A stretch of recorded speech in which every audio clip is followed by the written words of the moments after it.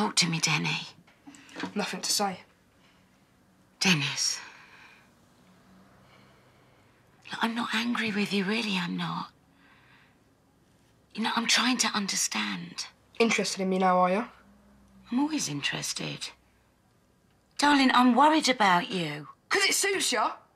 The only time you care about me is when it suits you, That is not true. isn't it?